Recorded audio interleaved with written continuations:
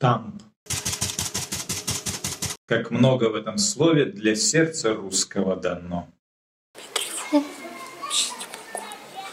Что же это в актерской игре?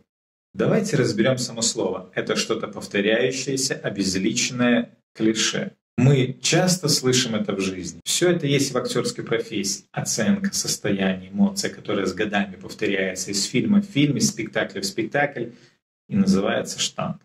К примеру, штамп «любовь».